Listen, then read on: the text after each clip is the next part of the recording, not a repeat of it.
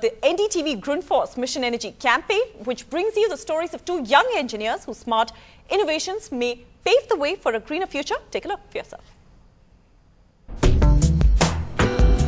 This is an ordinary alarm clock, but with small modifications, it acts as an automatic switch for your electric appliances. The device costs less than 100 rupees, while similar timers are priced at about 2000 rupees in market. My mother used to wake up early in the morning and turn off uh, the cooler. So I thought, why not to turn off cooler automatically 4 o'clock in the morning. Adarsh now plans to modify his innovation for farmers who can use it as a timer for 5 horsepower irrigation pumps in most of rural India. Ever wondered if walking can produce power?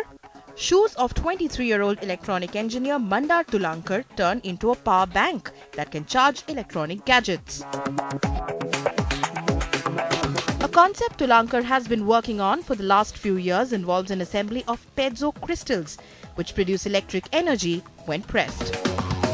When it was second year of my engineering, I read about a concept called piezoelectricity then applied for it at IIT Kanpur's Golden Jubilee Alumni Convention, which was the first platform where this so-called mobile shoe charger was presented.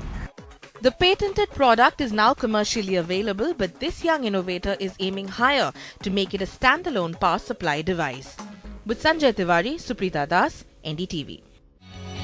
And we will get you more such innovations this World Environment Day. We're keeping our focus on energy efficiency with the NDTV Grundfos Mission Energy Sessions.